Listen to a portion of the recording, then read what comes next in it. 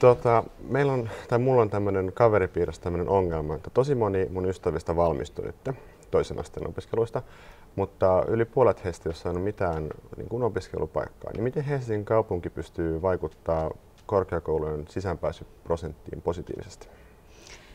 No, tietysti korkeakoulut ottaa ihan itsenäisesti opiskelijansa, eli kaupunki mm. ei valitettavasti voi suoraan vaikuttaa, mutta tietysti sillä tavalla, että jos me pystymme järjestämään mahdollisimman hyvää opetusta, että mahdollisimman moni saa todella hyvän niin.